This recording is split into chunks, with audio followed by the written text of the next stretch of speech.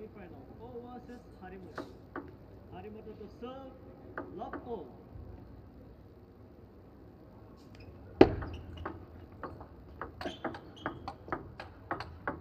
上来就是正手短。吴俊成呢，一上来这个线路呢也是比较的清晰，呃，想办法别住呢张本智和的中路以及反手斜线，抢半出台。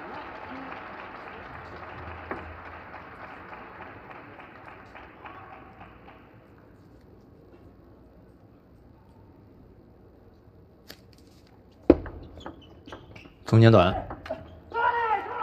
张本智和呢，其实一上来战术很明确，就主动的去调动吴俊成的正手位半台，避开他反手的这一侧。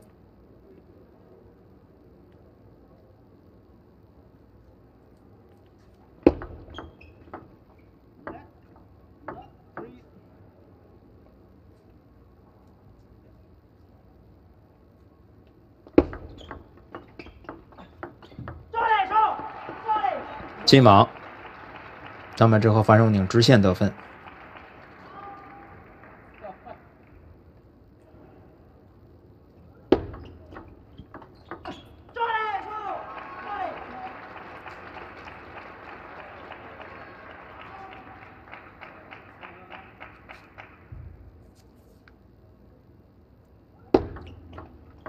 还是转不转正手短？连续的回摆。张本智和的一个战术设计，搓中路背大脚，带住斜线。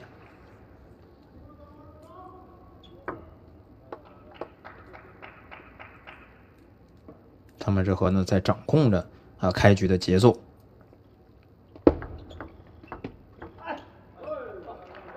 吴俊成减少了这种嗯前藤板的这种过渡，直接一个快劈长到斜线。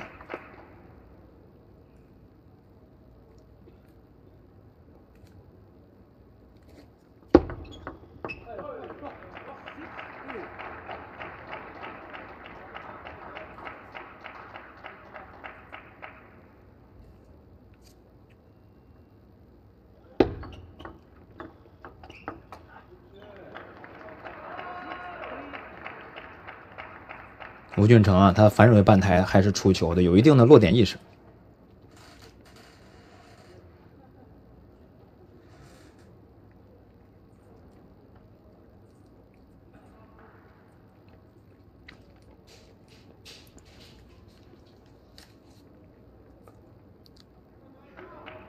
张本智和呢，他第一局开局的发球呢，主要还是以这么转不转为主，台内控制，自己呢先发动。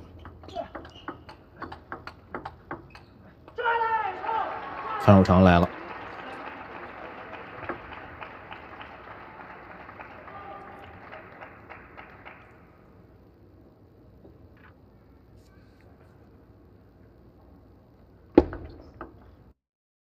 反手短让打一发抢。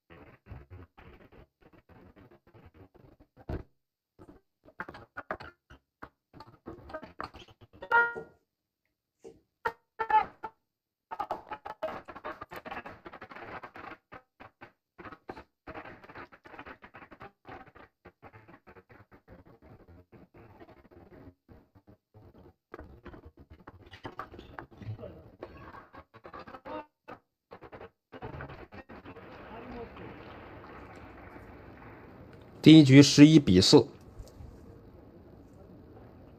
第一局的节奏呢，还是在张本智和的掌控当中的。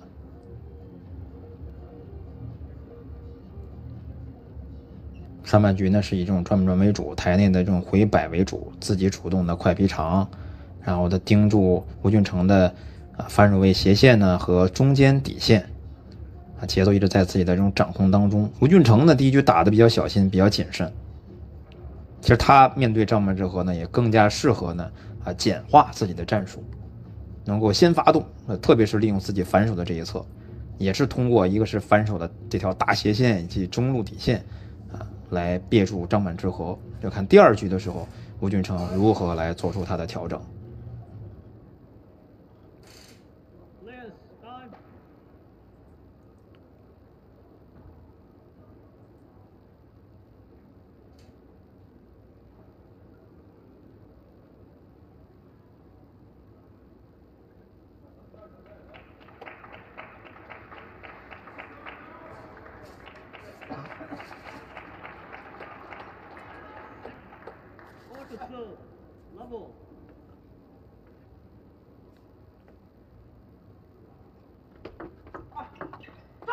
逆旋转了，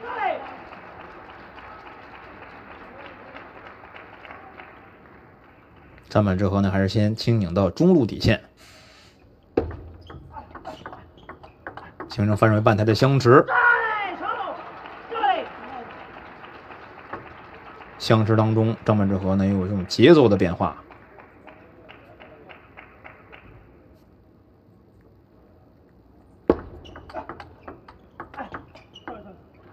刺入中路底线，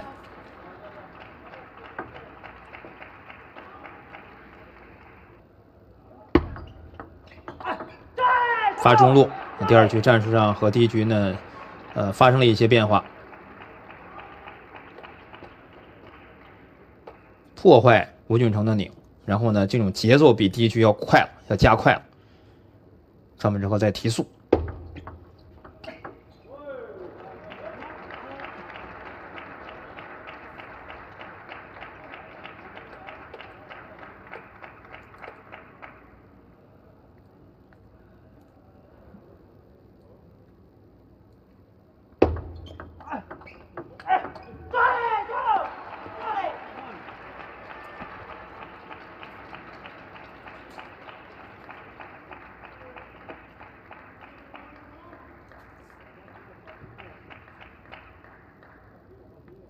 不管怎么给这种侧旋，不管给到哪个角度，那么该去拧的时候，张本智和呢不含糊，而且对中路的保护做的还是比较到位的。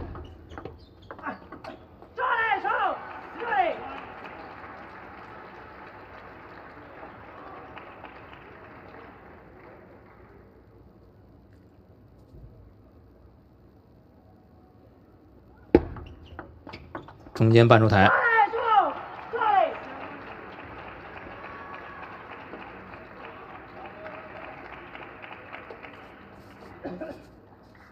七比一，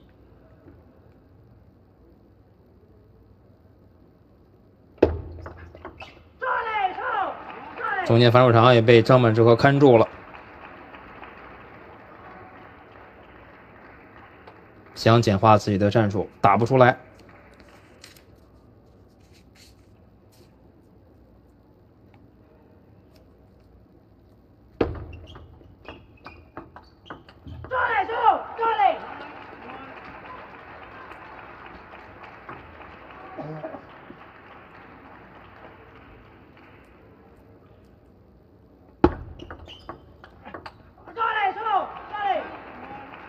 两个长球啊都没有得分，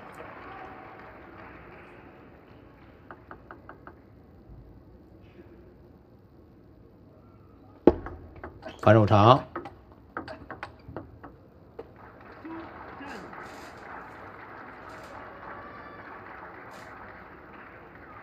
这是张本智和在反手位半台左半台桥斜线的对抗当中，他有意识在制造一些这种节奏变化，来限制。吴俊成的这种发动，吴俊成的这种出手的质量。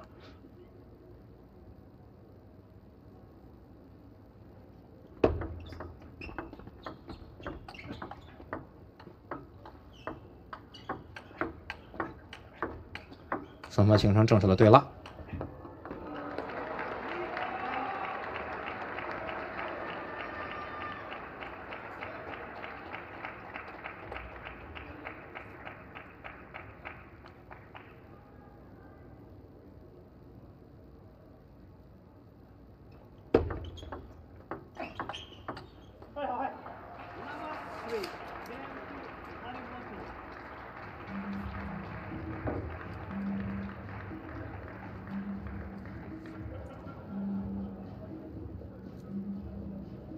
第二局呢，张本智和呢主动的提速了啊，特别是在这种接发球上减少摆短，增加这种劈长。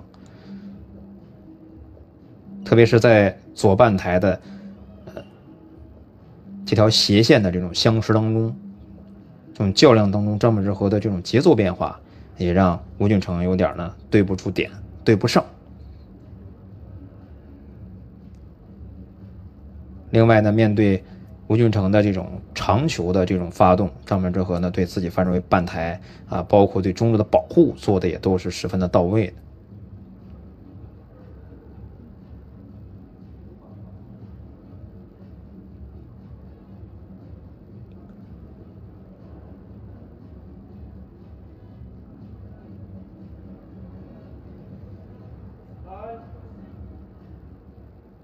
你发侧旋呢就拧，啊，你发这个转不转呢就劈长搓中路，半柱台呀或者底线呀。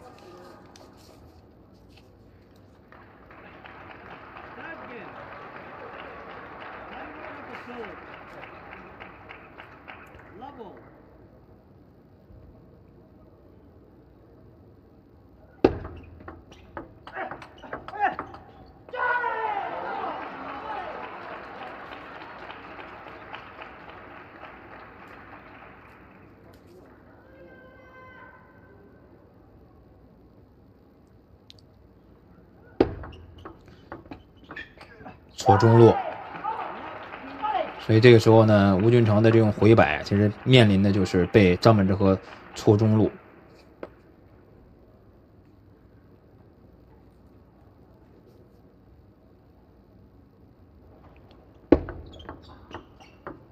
先上手了。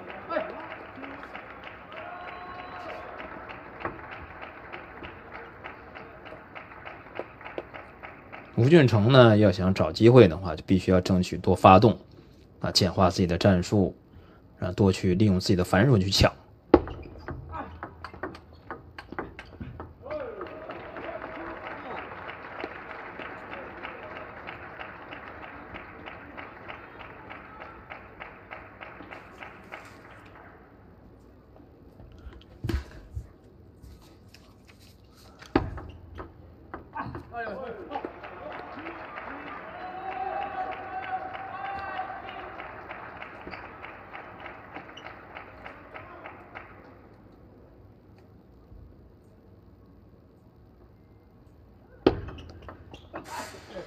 反手拧切线，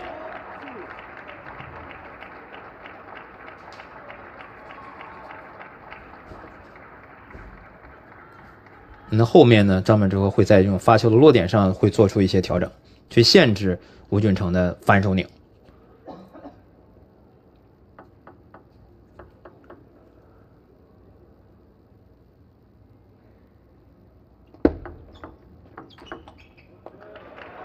啊吴俊成明显发动的更快了，整个人提上来，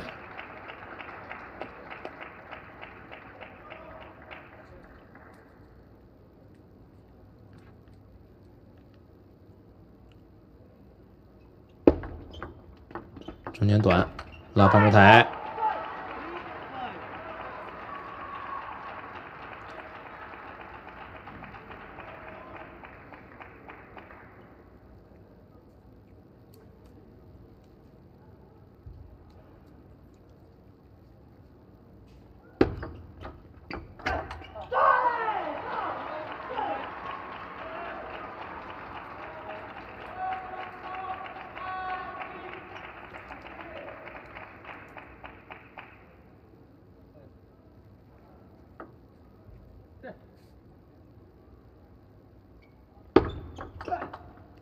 郑守长被盯住，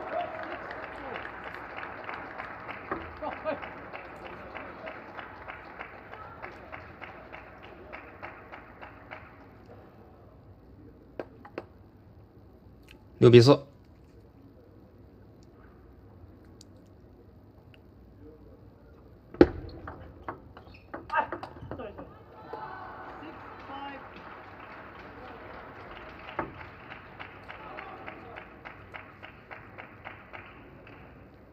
吴俊成呢选择发这种反手长啊，然后争取自己的第一板的这种反手抢攻啊，也没有问题。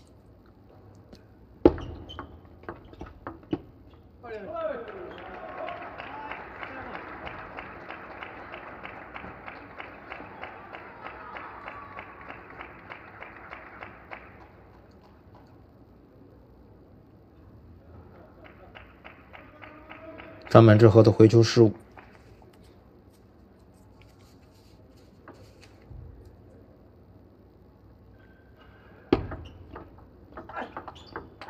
正手短，这个正手短发的很直。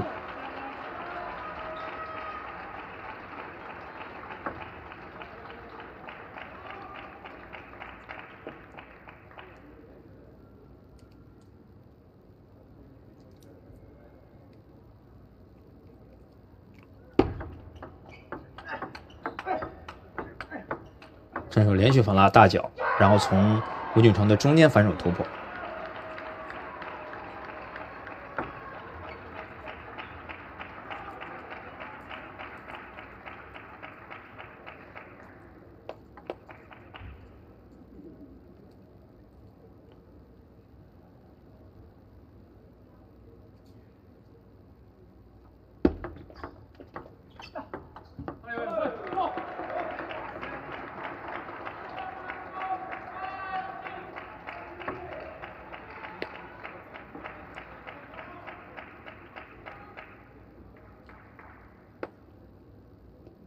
嗯，这段时间吴俊成对这种半中台啊，包括底线呀、其实盯的也很紧。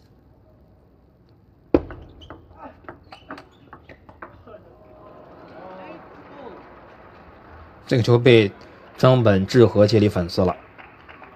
其实吴俊成呢打成了。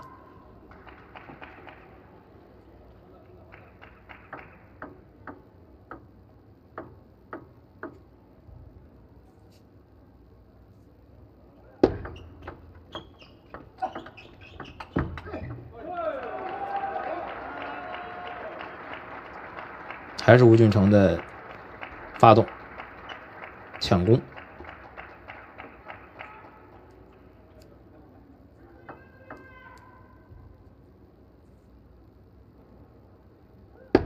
继续正手短，中间转到正手。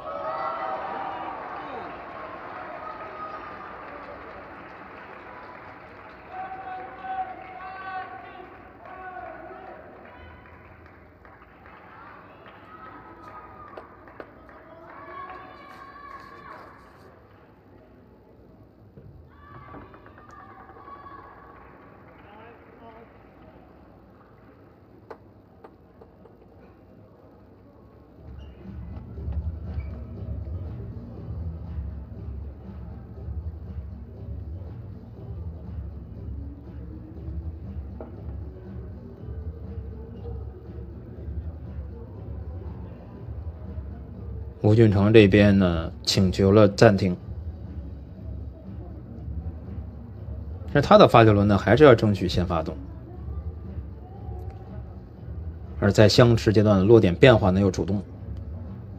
另外呢，在这种前三板的战术呢，要简化。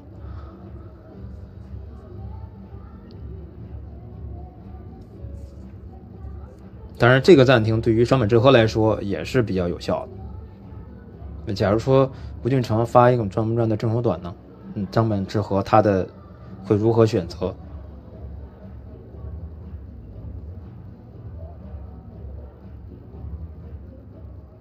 长球或者是中间正手，嗯，来限制张本智和的接发球的拧。转不转的话呢，就是争取整个人提上去抢，所以就看吴俊成，呃。这边吴尚银教练如何来给他去布置战术，如何来设计？那接下来是吴俊成的两个发球。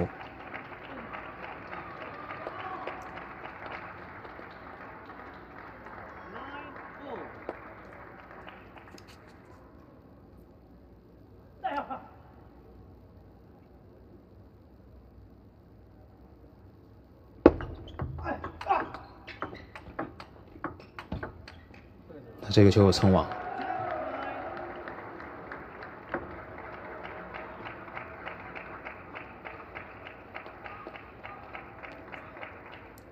张柏智和呢也是想呃看看能不能跳过来直接拧大脚，那这一点还是被吴俊成围住，啊，这么打呢倒是吴俊成呢稍微舒适一点。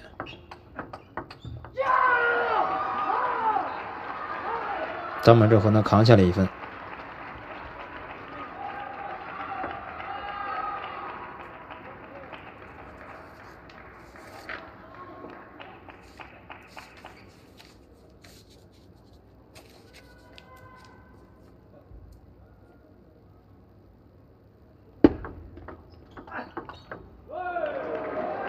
算到了，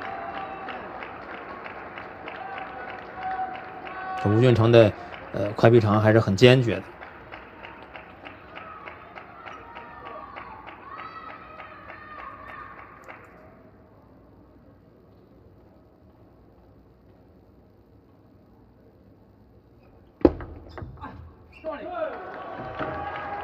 发球追得分。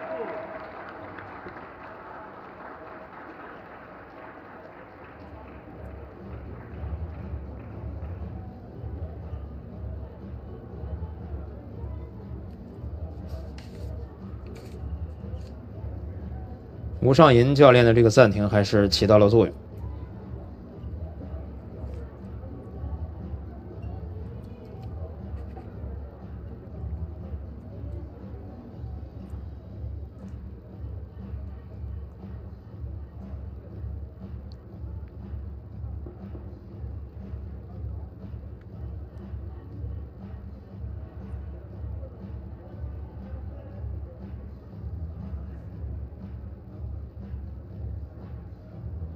在接发方面，吴俊成呢也是主动的追快逼长，快逼长很坚决，包括在自己发球的那些有利于自己反手主动抢攻，简化自己的战术。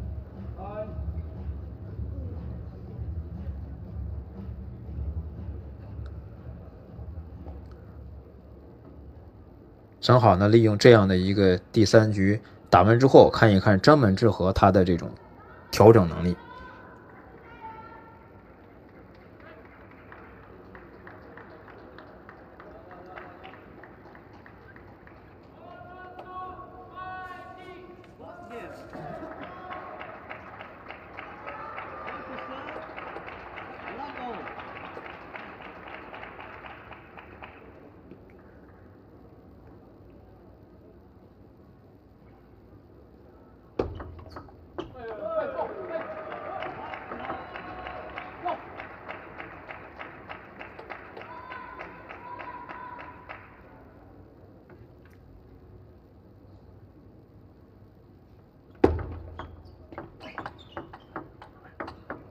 落点变化也比较主动了。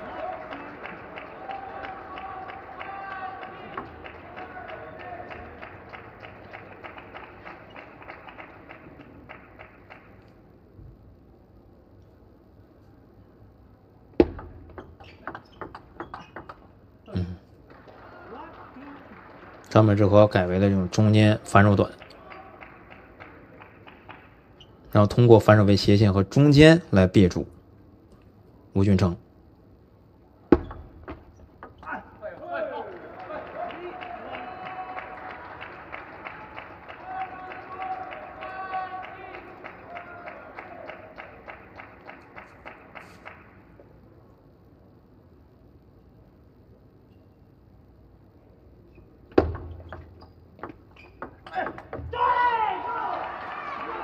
咱们这和反手呢，割了一个正手短。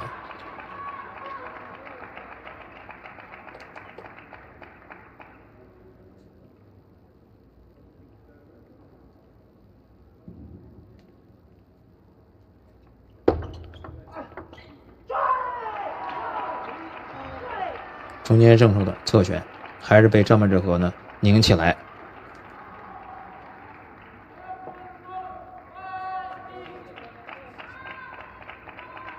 就如果去简化自己的这种战术的战战术步骤的话，实际上张本智和也可以这么打，他也具备这个能力。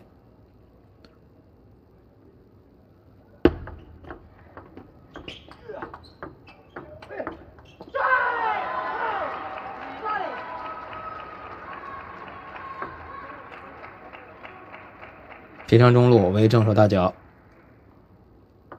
他打的比较细。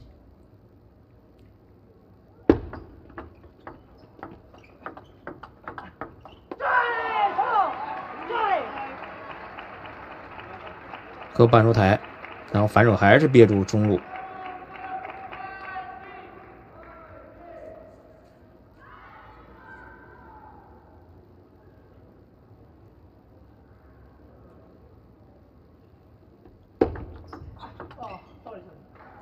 接发球直接拧中路。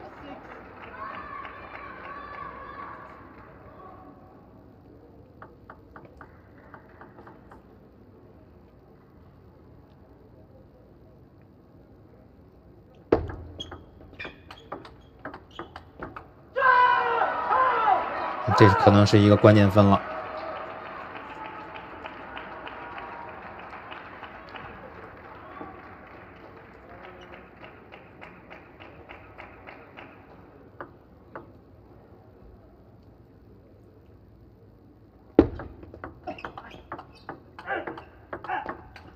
中间正手，就你这样打的话，就张本智和呢，他也比较适应。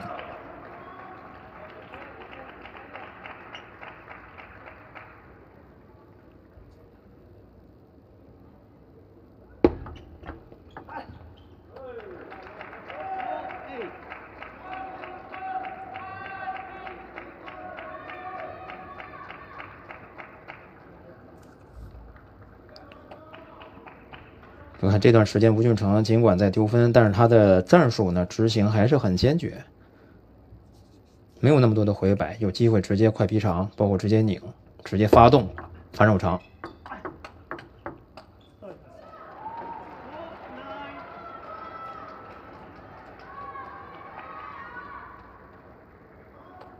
但确实中路这个位置是一个比较明显的漏洞，一直在被这么这个抓。但战术执行没有问题，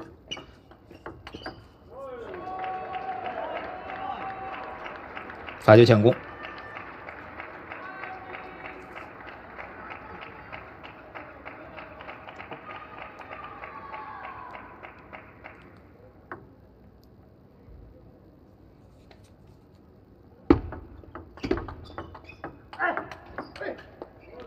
吴俊成围到了正手大脚。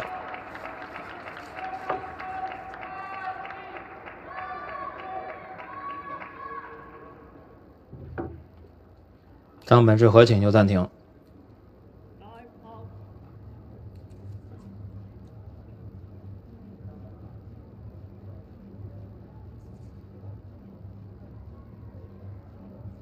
可能再回来也会让张本智和呢简化他的战术步骤，打的复杂一点。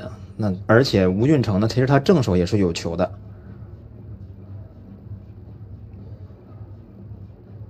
而且这段时间呢。吴俊成他的战术执行是非常坚决的，你转不转很有可能直接快劈长，呃，中间反手底线，或者是劈长一些这种，啊，追身位，包括接发球主动拧啊，然后包括这种反手长的这种发动啊。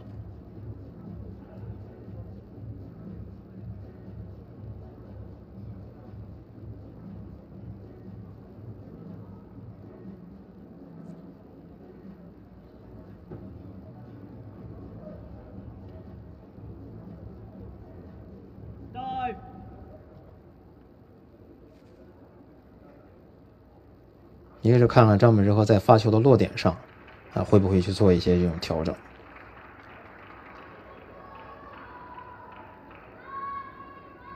就限制吴俊成的接发球质量，也是一个办法。中间呀，或者说小三角啊。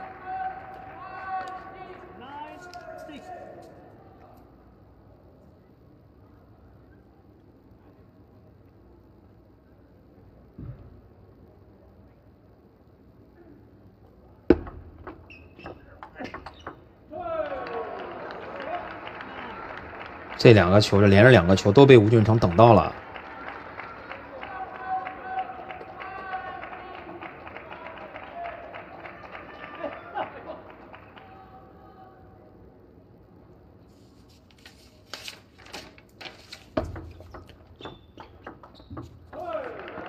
打得太复杂了。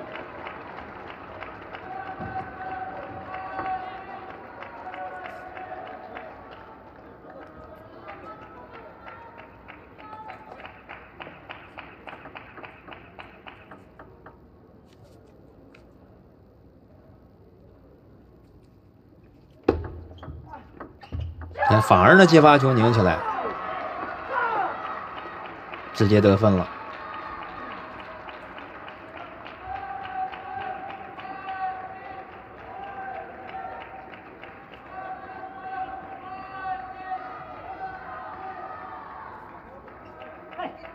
十比八，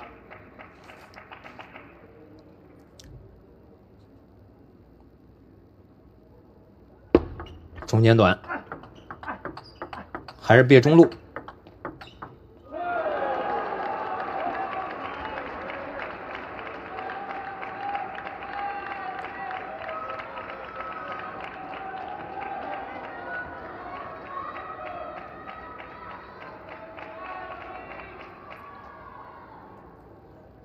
张本智和的发球战术呢，还是偏谨慎一些。侧旋拧起来，直接打一个简单的发抢，正手抢攻大脚得分，十一比九。最终张本智和总比分三比一淘汰了韩国选手吴俊成，晋级到阿斯塔纳乒乓球亚锦赛男子单打的决赛。